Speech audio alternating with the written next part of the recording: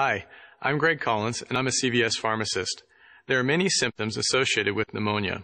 The most common include a cough with greenish or yellow mucus, bloody sputum on occasion, fever with shaking chills, sharp or stabbing chest pain that gets worse with deep breathing or coughing, rapid, shallow breathing, and shortness of breath. Other symptoms include headache, excessive sweating and clammy skin, loss of appetite, excessive fatigue, and confusion, especially in the elderly. Treatment of pneumonia depends on whether the cause is related to bacteria or a virus. If the cause is bacterial, the goal is to cure the infection with antibiotics. If the cause is viral, antibiotics will not be effective, but sometimes antiviral medication may be prescribed.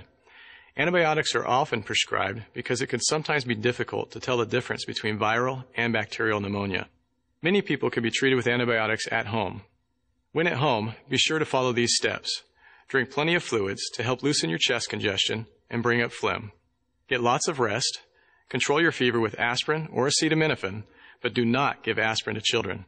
If you have an underlying chronic disease, severe symptoms, or low oxygen levels, you will likely require hospitalization for intravenous antibiotics and oxygen therapy. Infants and the elderly are more commonly admitted for treatment of pneumonia. When in the hospital, respiratory treatments may be necessary. Occasionally, steroid medications may be used to decrease wheezing if there's an underlying lung disease, such as asthma.